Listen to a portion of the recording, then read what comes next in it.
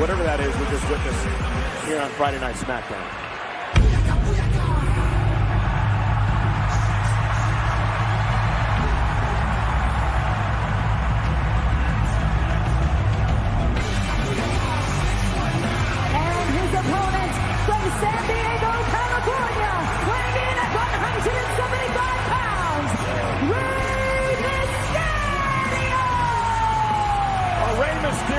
Returning from an ankle injury. I want to show you how this matchup came about.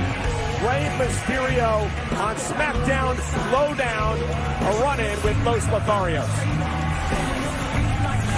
It's never easy coming back from an injury. And now I have Kross thinking he's clever, telling stories. Well, I'm not going to just sit there with my arms crossed and listen to his passive aggressive ramblings. Rey, you don't get it, right? Kross was trying to be kind with you when he said, You are past your prime. Eres el pasado. And Rey and I, we are the future.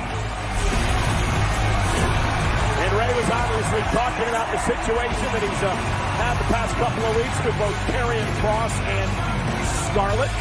Karrion Kross basically said that at some point going to put Rey Mysterio out to pasture. incredibly menacing conversation with Karrion Kross. And unfortunately for Rey Mysterio, Angel and Humberto seem to be Hey, in speaking- agreement.